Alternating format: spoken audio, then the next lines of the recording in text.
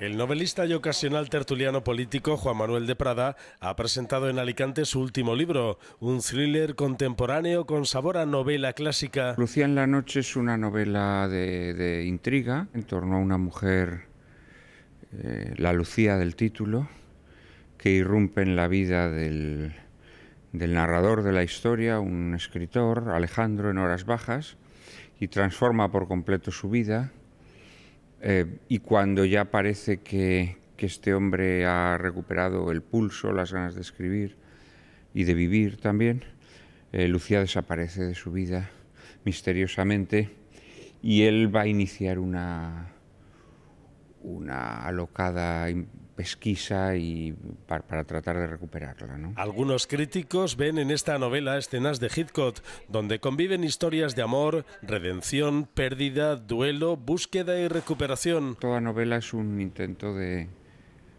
mm, de ver hasta dónde puedes llegar, ¿no?